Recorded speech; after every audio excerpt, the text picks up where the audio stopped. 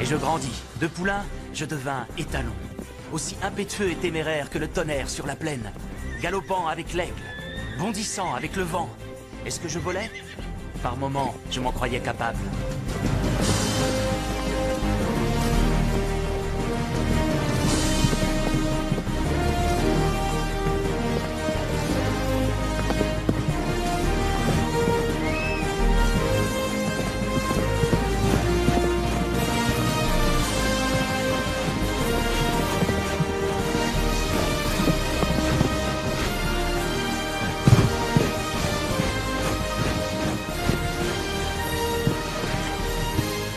Comme mon père avant moi, je devins le chef des étalons du Cimarron.